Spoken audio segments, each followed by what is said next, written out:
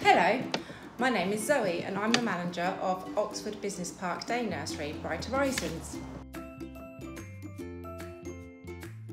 This is our baby room and in here we focus on the sensory skills of the children, planning around their individual needs.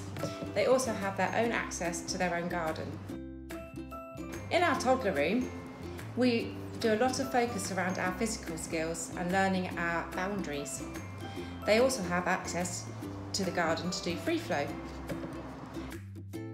In our 2 to 3s room, we really focus on independence and social skills, helping the children to progress in all areas of development.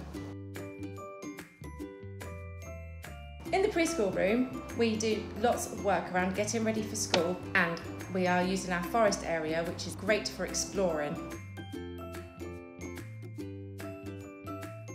The children in every room have access to the garden and they can free flow. All the gardens interlink so that if we have siblings, they can join each other outside while in the garden.